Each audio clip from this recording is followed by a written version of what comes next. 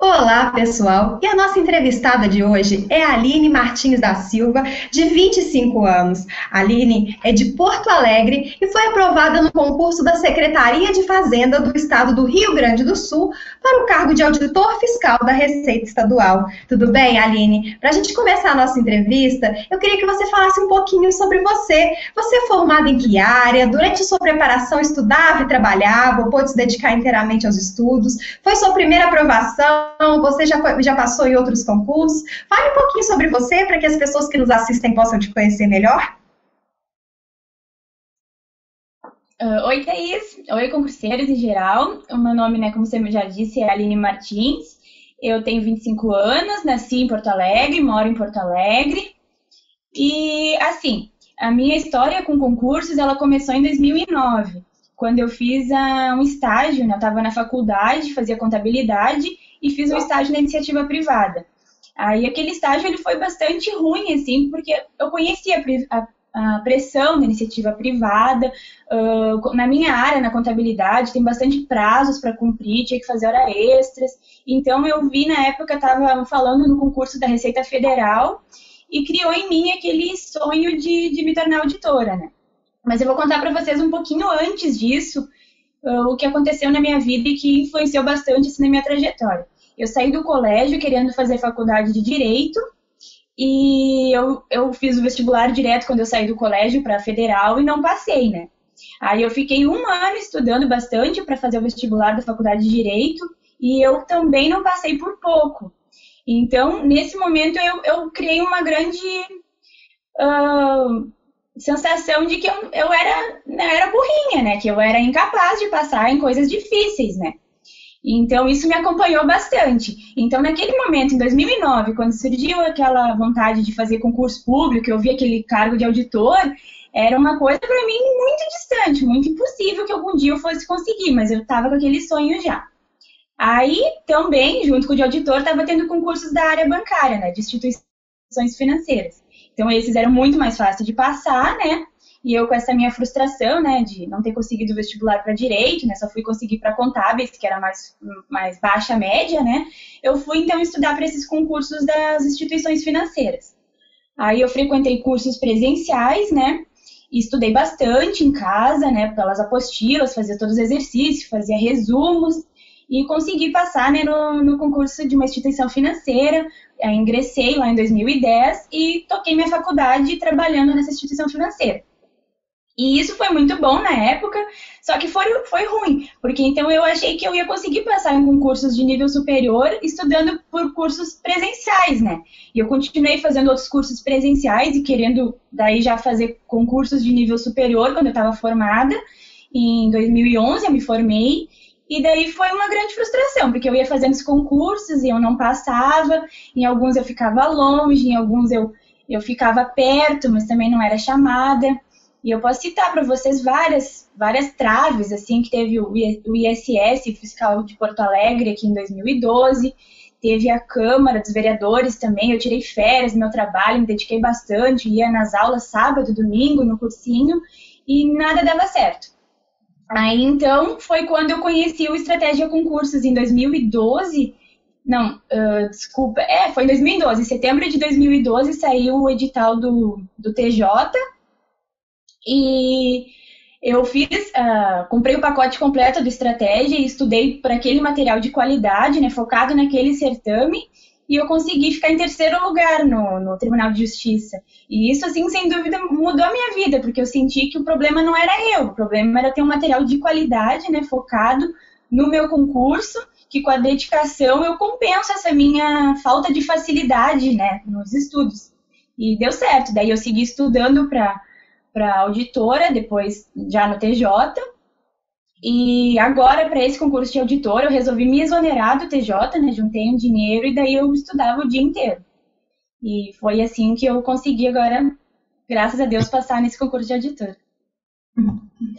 E Aline, pelo que você está contando, né, depois de tantas frustrações, veio aí você ter pedido demissão do seu, do seu trabalho para poder se dedicar ao concurso. Então, me fala, qual foi a sua sensação na hora que você viu que seu nome estava lá na lista dos aprovados? Nossa, assim, é uma coisa que não tem explicação, né? Porque, na verdade, para mim, essa sensação já começou quando eu corrigi. Porque eu saí da prova com, com, muita dúvida se eu tinha feito os mínimos, né? Nessa prova você tinha que fazer os mínimos em cada uma das disciplinas, em direito tributário, em direito constitucional e administrativo, nos direitos civil, penal empresarial.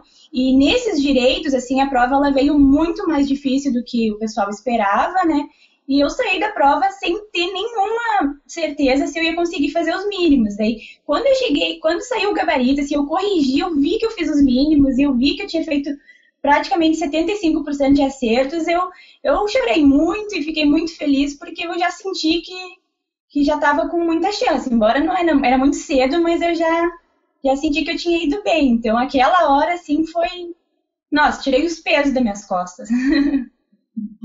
É, você disse que, que para esse concurso especificamente, né, você pediu demissão do seu trabalho e pôde se dedicar exclusivamente aos estudos. E a sua vida social, como ficou nesse período? Você conseguiu conciliar os estudos com os amigos, saídas com família? Como que foi sua vida social durante esse período? É, antes, né, nos estudos que eu vinha fazendo, até o TJ, e depois eu continuei estudando, teve um curso da CAG no meio do caminho, era mais. Uh, tinha mais vida social, assim, de ir ao cinema, quem sabe sabe de tarde, algum, alguns programas de domingo, alguma coisa assim. Mas, particularmente, depois da CAG, que foi, o edital saiu em novembro de 2013, eu comecei, assim, a focar muito, né? Já foi em novembro de 2013, quando saiu o edital da CAG, eu já estava com essa ideia de me exonerar lá do TJ. Só que eu recém tinha entrado em julho, né, que demoraram para nomear, e então eu acabei não tendo essa coragem suficiente. Daí a minha diretora conseguiu reduzir minha carga horária. Eu trabalhava quatro horas, ganhava metade do salário e comecei a estudar pesado, né? Eu estudava cerca de oito horas por dia nesse período. Uh, então, quando você tem mais tempo, você começa a se cobrar mais, né? E, então, eu fui reduzindo o lazer a partir de novembro de 2013. Eu reduzi, assim, essencialmente era sábado e domingo depois das 18 horas que eu tinha algum lazer, e nada muito pesado, alguma coisa de jantar fora, cinema, assim, nada muito pesado. E isso eu mantive também agora depois do, do edital do, do auditor. Eu tinha religiosamente sábado e domingo, depois das 18 horas eu parava. Mas durante a semana, praticamente nem aqui em casa ninguém me via, eu ficava o tempo todo estudando. Você comentou, né, que ao longo da sua jornada como concurseira você tentou outros concursos, alguns que você conseguiu aprovação, outros que você bateu na trave. É, mas você acha importante o concurseiro tentar outros concursos, mesmo que talvez não seja aquele objetivo final, seja para poder ir treinando, para conhecer a banca? Qual é a sua opinião sobre isso? Então, uh, no meu caso, né, como eu falei, por causa daquela minha frustração, quando não consegui aprovação na faculdade de Direito, eu sempre me achei, assim, burrinha, né? Então, eu fiz os concursos de uma maneira escadinha. Eu comecei pelo das instituições financeiras, depois eu fiz vários de contador, aí eu comecei a fazer os da área fiscal meio por experiência, fui no, no do Paraná, no de São Paulo, então, no total, eu fiz 46 concursos já. Então eu ia fazendo porque às vezes a prova até que eu não tinha interesse de assumir, mas eu achava que fazer a prova ia me ajudar a, a ver o tempo, né? Porque eu tinha várias provas no início que eu não me faltava tempo para concluir. E às vezes também a questão de, de ter coluna para aguentar a prova o dia inteiro, ter concentração. Eu fazia bastante por, por esporte, para testar mesmo, para ir melhorando o condicionamento físico, mental, agilidade. Eu achei que no meu caso foi muito importante, assim, me ajudou a me tornar mais ágil, me tornar uh, mais concentrada para enfrentar a maratona, né, de três turnos de prova, que é bastante puxada, assim. E agora que a autoconfiança faz parte da sua rotina, você deseja parar e se sente realizada com esse concurso ou pretende continuar a vida de concurseiro e tentar outros concursos? Esse concurso é o concurso dos seus sonhos? Sim, com certeza. Esse era o concurso dos meus sonhos. Lá em 2009 eu enxerguei isso e a, a chuteira concurseira está sendo pendurada nesse momento, mas claro, eu vou fazer agora o direito por hobby, né? Que é a minha frustração de não ter feito não ter passado no vestibular. Agora eu pretendo fazer, nem que seja uma universidade paga, para realizar esse, esse meu sonho, mas não é um sonho concurseiro, é acadêmico. Para esse concurso, especificamente da Cefaz, você estudou por quanto tempo. E você chegou a estudar sem ter edital na mão? Se sim, como que você fez para poder manter a motivação?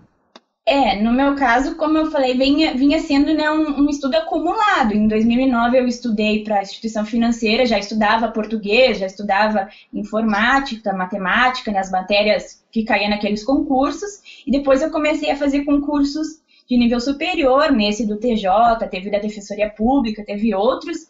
Caía, começava a cair direito constitucional, direito administrativo. Então, no meu caso, foi um estudo acumulado, né, que eu vim, vim tendo. Teve outros concursos, TCE, nível médio. E esse da CAG, eu acredito que foi fundamental na minha preparação, porque eu, como eu falei, estava trabalhando quatro horas, né, lá no TJ, e eu estudava oito horas por dia para esse concurso da CAG. Quando saiu aquele resultado da, da CAG, eu fiquei em 145, aquilo doeu muito, assim, porque eu me dediquei muito pro, pro concurso da CAG também, né. E eu acredito, hoje eu enxergo que aquele estudo ajudou agora no de auditor. Sem aquele estudo que eu tive para CAG e não deu certo, muito dificilmente eu estaria aqui aprovada no, no de auditor, né? Foi uma bagagem acumulada, né?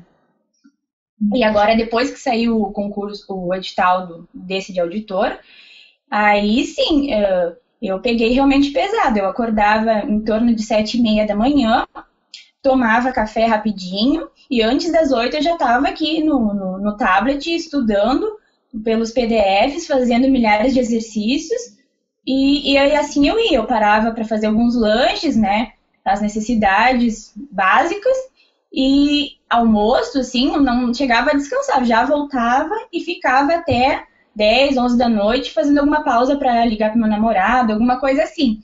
Foi bastante puxado, assim, posso dizer sem dúvida que foi a fase mais difícil assim da minha vida.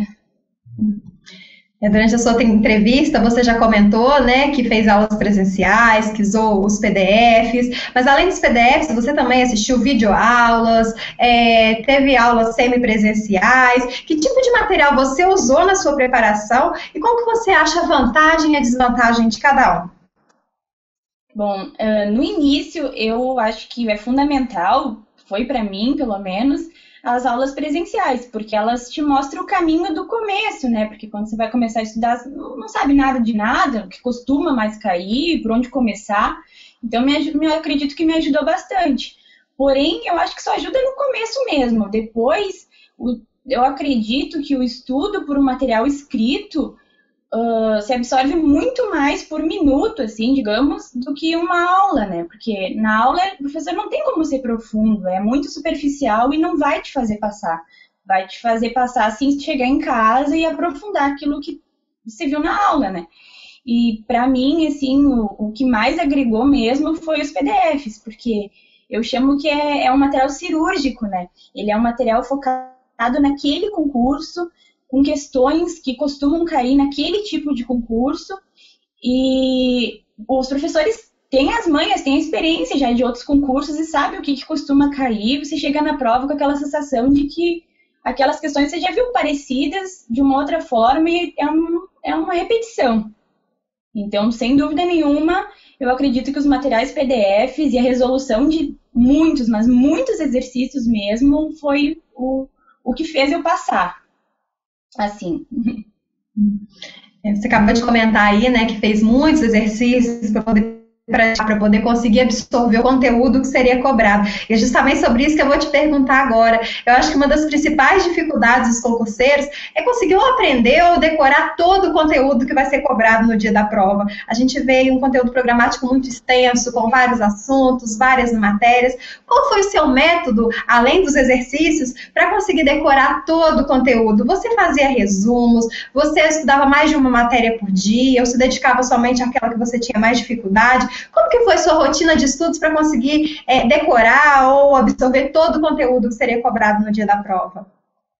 Então, eu, eu, eu li o livro do Alexandre Meirelles, né, e ele falava bastante dos grifos, né, utilizava a caneta marca-texto quando eu estava fazendo alguma leitura de material escrito, mas isso num primeiro momento, assim, quando eu ainda estava estudando sem edital, estava lá no TJ, antes de sair o edital da CAGE, antes de sair o edital do, do AFRE, agora que eu passei.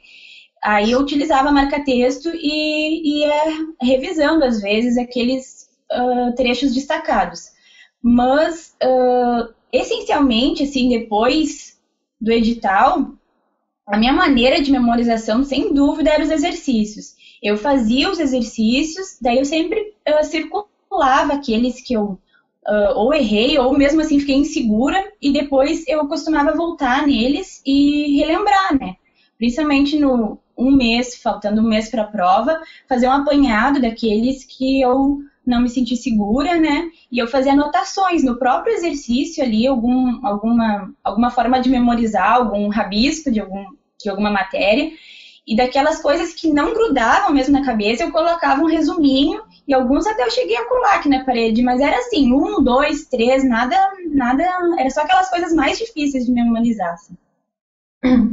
É, você já comentou aí, já deu uma prévia, né, de como que foi a sua reta final, a sua é, o último mês, mas e como que foi a sua última semana, faltando aí 24, 48 horas para as provas? É, a gente, é, é, às vezes, concurseiros, né, que, que, que, que, fazem os dois extremos, ou que se dedicam demais aos estudos, viram noites estudando, acreditando que, que tendo conteúdo mais fresquinho na cabeça, vai conseguir se dar bem na prova. Mas a gente também vê o outro extremo, de concurseiros que acreditam que é preciso relaxar, diminuir um pouquinho o ritmo, e acreditam que isso sim vai fazer com que ele vá bem na prova. E outros que continuam, digamos assim, no meio termo, continuam levando o mesmo ritmo. Qual foi o seu caso, Aline? Conta pra gente gente? Bom, isso é bem controverso, assim, tem gente que defende com unhas e dentes os dois lados, né? Eu vou dizer o que foi no meu caso, assim, no meu caso, eu peguei nesse um mês final da prova e era mais direcionado para revisões, tinha poucas matérias ainda que, em virtude do calendário dos, dos professores nas aulas em PDF, não tinham sido liberadas, que eu ainda estava vendo alguma coisa nova, mas a maioria era só fazer exercícios, principalmente refazer exercícios que eu já tinha feitos para para relembrar né, as coisas, porque são, foram quase quatro meses de estudo, então aquilo que você estudou lá no início já, já não está mais fresco na, na, memória. Então, foi, uh, foi intensivado o estudo, mas foi intensivado principalmente em revisões. E eu sou da, da, da opinião de que, para mim, tem que estudar até a hora de o fiscal arrancar o seu material da sua mão e mandar você entrar na prova. Eu fui com os meus resuminhos, né, que eu tinha alguns resuminhos, uh, que eu fiz daquelas coisas que não, não entravam na cabeça, das matérias que eu tinha mais dificuldade, né, eu fiz resumo, que é coisas de alíquotas da legislação tributária, algum, algumas coisas de tecnologia da informação, e, e eu levava o tablet também, chegava cedinho no, no colégio da prova e ficava ali passando os meus resumos. Sentava lá num cantinho para ninguém me incomodar e ficava ali só passando. Eu não ficava estressada, assim, com nada, mas eu ficava passando, passando aquilo na, visualmente me tranquilizava de ficar revisando. É, e Aline, a gente teve uma pergunta nas redes sociais que é mais ou menos sobre isso aí. É do Danilo Leal. Ele quer saber quais foram as suas estratégias na hora da prova. Se você começou a fazer a prova pelas matérias que você tinha mais dificuldade, ou se você foi direto naquelas que você tinha mais afinidade, se você seguiu a ordem natural das provas. E ele quer saber também, que eu acho que vale muito no seu caso, né? Que foram três turnos de prova, sábado à tarde, domingo é, de manhã e de tarde. O que, que você fez para poder relaxar antes da da prova ou no intervalo dessas provas? Uh, no meu caso, assim, na prova, tinha que fazer 50% de acertos em cada disciplina. Então, a minha primeira preocupação foi essa. Eu tinha que uh, lutar pelos 50%, né? Eu passei por toda a prova, fazia 50%, às vezes uh, não era coincidente com metade da prova, né? Eu fazia mais da metade para garantir que eu ia ter metade do, dos acertos. Então, eu começava por português, que eu acredito que foi uma que é uma matéria que exige mais atenção, tem que ficar indo para lá e para cá, voltando no texto para localizar a, as referências para responder a questão. E por matemática, por ser uma matéria de dificuldade, né? E para mim, no meu caso, eu estava com bastante medo de não, não fazer os mínimos, então eu comecei por essas duas, português pela atenção e, e matemática também pela dificuldade. Mas mesmo assim, eu, eu fazia a, aqueles, aquela quantidade de questões que eu acreditava que iam me garantir a metade, né, aproximadamente a metade dos acertos, e pulava para a próxima. E assim eu ia indo, pulava para a próxima. Depois que eu garantia metade em todas, eu voltava para uh, continuar, né? E acontece que antes desse concurso de auditor, pela mesma banca organizadora, que foi a Fundatec, teve o concurso de técnico tributário da Receita Estadual. Foi a mesma organizadora e é um concurso para o mesmo órgão, né? Então, nesse concurso eu fiz para me preparar, né, para esse do, do auditor, para ver como é que ia ser. E nesse concurso me faltou tempo para fazer 10 questões. Então, eu estava bastante desesperada com isso, né?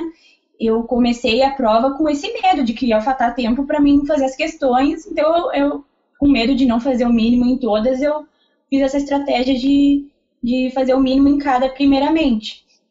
E, inclusive, né, foi até engraçado que no dia anterior, eu, a, partir das 19 horas, eu parei de tomar líquidos que eu queria não ir no banheiro na prova para ganhar mais aqueles minutinhos, porque eu sei que ia dar mais uma questão, né? Se eu for até ir no banheiro voltar, o fiscal tem que passar detector de metal, e tal, e eu consegui. Daí eu não fui no banheiro e me ajudou, eu consegui concluir a, a prova, né? Não faltou tempo e saí correndo pro banheiro depois da prova.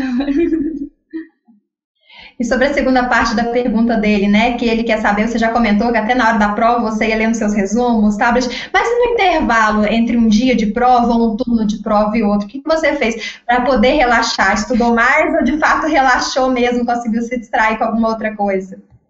Não, eu cheguei em casa e fui revisar porque tinha legislação tributária. No dia seguinte eu tinha que olhar as alíquotas, né, para relembrar, ficar bem viva na memória, mas nada muito pesado também. Eu fui dormir cedo, uh, só que eu tive que dar, tinha que dar aquela passada nos meus resumos. E na, no intervalo domingo de, de manhã para de tarde, tava caindo um temporal aqui em Porto Alegre e, assim, foi Deus que me fez um, um, um grande amigo meu, tava lá fazendo a prova no mesmo colégio, e eu liguei para ele pedindo socorro se ele tava com o carro dele.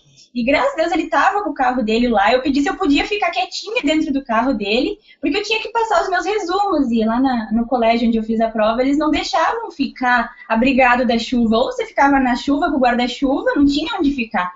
E daí eu me tranquei no carro desse meu amigo e ele estava passando os resumos dele e eu estava passando os meus resumos. E comi um lanche, levei, levei, um pedaço de mega maluco, uma banana, e esse foi o meu almoço. Eu nem conseguia pensar em comida, eu só queria pensar nos meus resumos. E graças a Deus nós dois passamos trancados ali no temporal olhando nossos resumos, que acredito que isso me dá muita confiança, assim, de rever, ficar bem fresquinho na hora da prova. Contando aí desde o início da sua preparação, desde o início da sua vida de concurseira. Se você tivesse que apontar erros e acertos, quais seriam? Eu acho que o meu principal erro, assim, foi essa neurose, assim, de que, de que eu não era capaz, de que tinha que ser um pouco mais gênio, tinha que ter um pouco mais de aptidão para fazer esses concursos grandes. E isso é mentira, isso é uma grande mentira, assim, porque basta você querer. Se você querer muito, se você querer isso muito, eu posso dizer que eu nunca quis tanto uma coisa como eu queria essa aprovação, assim. Quem me conhece, meu namorado, sabe que eu era obcecada, eu queria isso. Se não desse nesse, eu ia continuar estudando até o próximo. Então, quando eu falo querer muito, é querer muito mesmo. Você tem que estar tá disposto a pagar o preço, né? Porque hoje, cada vez mais, a gente vê os depoimentos das outras pessoas, e isso eu sempre ficava vendo os depoimentos dos já aprovados, as pessoas fazem abdicações muito grandes. Então, a pessoa, antes de começar a estudar para concurso, tem que pensar isso, se vale a pena, né? Se está disposto a pagar esse preço. Então, meu erro foi, foi esse. No início, eu acreditava que eu, eu não era capaz. Que eu sempre não, não tive facilidade de aprendizado, eu tive que compensar muito com disciplina, com persistência. Eu acho que esse foi um grande erro, assim, uma baixa autoestima, né? Eu uh, compensei isso agora no, no, no, nesse concurso de auditor, eu entrei numa consultoria que eles não fazem nenhum tipo de milagre, assim, mas eles te dizem o que estudar cada dia da semana. E isso, por si só, me deu uma grande confiança, né? Que eu acho que era o que faltava para mim, uma confiança, uma autoestima para ir fazer a prova acreditando que eu sou capaz, né? E graças a Deus deu tudo certo e eu acho que esse foi um grande erro. Quanto aos acertos, né, eu sempre fui uma pessoa bastante uh, disciplinada, determinada, assim, e quando eu coloco uma coisa na cabeça, eu fico martelando, martelando que eu vou querer aí, conquistar essa coisa. Então, essa determinação, assim, que uh, te faz estar disposto a, a, a ter várias abdicações, vários sacrifícios, teve vários almoços de domingo que a família ficava falando mal. Ah, ela não veio, ela está estudando ainda. É, estava estudando ainda, mas eu não dava bola, porque essas pessoas não entendem, não tem que entender mesmo, né? Esse era um sonho meu. Então, é, quando você quer muito assim e tem essa disciplina, essa determinação, né, essas coisas se tornam irrelevantes. Você já comentou aí sobre algumas dificuldades, mas o que, que você considera que foi mais difícil nessa sua caminhada rumo à aprovação, até você de fato conseguir passar no concurso dos seus sonhos? É, mais difícil, assim, foi manter, né, essa determinação, apesar das várias uh, dificuldades no caminho, que, que, eu posso citar esse concurso da CAGE, o edital saiu em novembro, as provas foram no início de 2014, e e não ter passado nesse concurso, assim, foi uma coisa que doeu muito, né? Porque eu me preparei bastante para a prova. E então, eu digo que levantar a cabeça e, e continuar depois que você se prepara muito para uma prova e não dá certo é uma coisa bastante difícil. E mesmo durante, assim, essa aprovação, né? Quando eu me exonerei lá do Tribunal de Justiça, tem vários momentos que você para e pensa Principalmente quando eu estava fazendo os exercícios, daí eu estava refazendo um exercício que eu já tinha errado, e daí eu erro de novo o exercício. Aí para e pensa: o que, que eu estou fazendo, né? Não tem como dar certo isso. Eu tô, eu tô errando os exercícios que eu já errei, então não é para mim essa coisa. Então esse, esse negativismo, assim, foi uma coisa que é muito, foi muito difícil para mim vencer e acreditar que apesar de tudo isso, tem como passar. Porque na prova tu, tu pode errar uns 25% da prova e tu passa. Então, apesar de tudo isso, uh, é possível passar e para mim foi essa dificuldade de lidar com isso, né, de acreditar. E por fim, Aline, eu queria saber o que, que você aconselha para quem está entrando agora no mundo dos concursos. Eu queria que você deixasse uma mensagem para quem está nos assistindo e deseja alcançar a tão sonhada aprovação como você alcançou a sua. É, é, é complicado, assim, falar para uma pessoa que não, não, não tem muita noção de onde está se metendo, né? Então, a minha mensagem é que uh, o que eu fiz, assim, foi ler muito, assistir muitos depoimentos de pessoas que já passaram, e daí, essa pessoa fazendo isso vai tomar consciência do quanto isso é uma, uma tarefa uh, que exige muita abdicação, né? Então, eu, eu, eu penso assim, quanto maior o salário do concurso onde você pretende ingressar, maior vai ser a dificuldade da sua prova, né? Se você quer concursos de carreira de estado, assim, você tem que estar muito certo de que você quer isso mesmo, porque o preço que é necessário você pagar para ingressar numa carreira de estado, ele é um, um preço bastante grande. Você vai precisar abdicar de churrascos com a família, abdicar de barzinhos com seus amigos. Mas eu só tenho a dizer que eu faria tudo de novo e que a sensação de se alcançar um sonho é uma sensação impagável, assim, uma felicidade que não cabe em mim e que eu queria isso para minha vida e eu alcancei agora e, e, e digo que é, um, é um, uma coisa indescritível, assim. Eu estou muito feliz, estou realizada, vou pendurar as chuteiras e faria tudo de novo. Obrigada, Aline, por dividir um pouco da sua experiência conosco. Muita boa sorte nessa sua, nessa no, sua nova etapa de vida. Gostei muito da sua história, porque apesar de não te considerar burrinha, de ver que você é uma pessoa que fala bem, que se expressa bem, você é a prova viva que dedicação é tudo, que você tendo autoconfiança, acreditando de que é possível e se correndo atrás disso, principalmente, qualquer um é capaz de passar. Todo mundo pode alcançar a sua sonhada aprovação. Parabéns mesmo, muito obrigada por dividir conosco a sua história. E para você que está nos assistindo, é, curta o nosso vídeo, diga se gostou ou não, deixe também o seu comentário com críticas, dúvidas e sugestões de perguntas para a Aline ou para outros entrevistados. A gente se vê na próxima. Tchau!